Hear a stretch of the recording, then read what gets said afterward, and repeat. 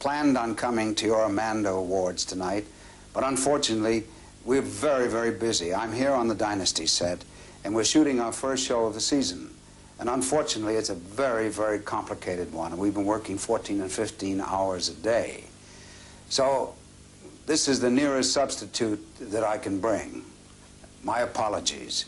But with apologies comes good luck.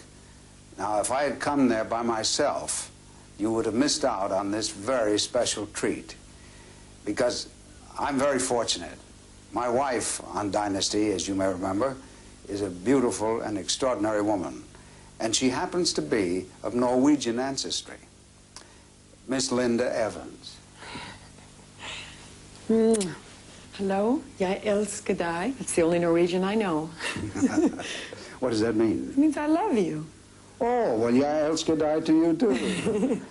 Linda, uh, everybody knows that you're half Norwegian and half angel, but um, You've been to Norway, haven't you? Yes, I was in Norway for a very short amount of time, uh, quite a few years ago. It's a beautiful, beautiful country. Um, I have quite a few relatives I'd like to say hi to back home, the Evenstads, uh, and send my love to them.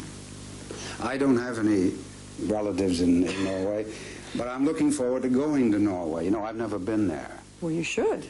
Well, I'm very, very anxious to go. And next year I'm going to be playing in a couple of tennis tournaments in Scandinavia. So what I'm going to do is just hop from Stockholm to Oslo.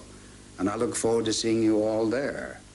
How about you? Are you going to come back to Norway? I would love to come back to Norway. You go first and pave the way.